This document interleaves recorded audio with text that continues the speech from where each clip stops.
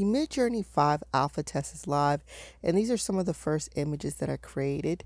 And I'm going to show you first a few samples of the different types of images, and then I'll show you guys the close-ups.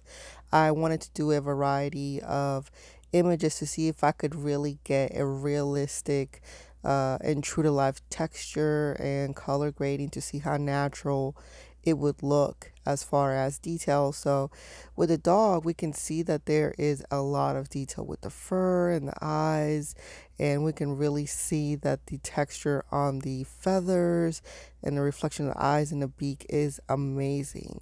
Uh, I'm just really blown away. This is from my thumbnail, and I mean, this looks like a person, and we can really see the texture on the coat and the jacket and her hair and the highlights.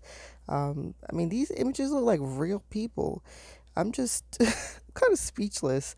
Uh, with this one, I wish there was more texture on her skin. Um, I really wanted to see how Midjourney would handle uh, different skin tones. I mean, it looks amazing. Uh, I mean, her hair and the variation of color uh, looks I mean, it's perfection. And with this one, I really wanted uh, to create contrast between the skin tone and see if the glitter would actually shine and, and be able to add more depth. I mean, it did great. And with this one, I mean, the brows really caught my attention and each strand of hair from the light is, I mean, the same thing with this one.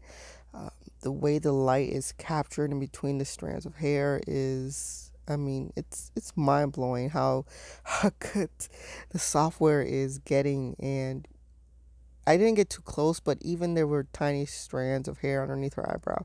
And with this one, it's more about the depth of field. I mean,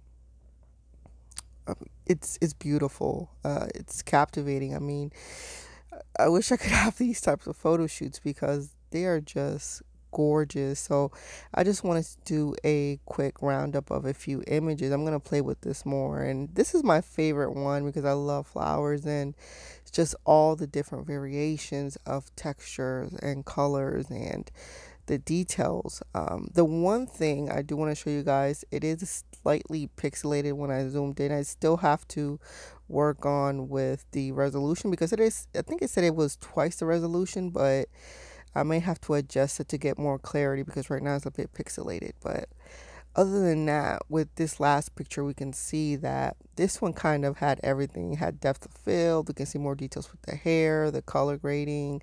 Um, it's it's amazing. So I can't wait to play around more.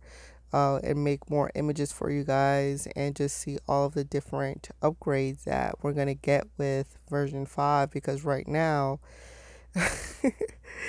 there is a lot of amazing things that we can do with this software.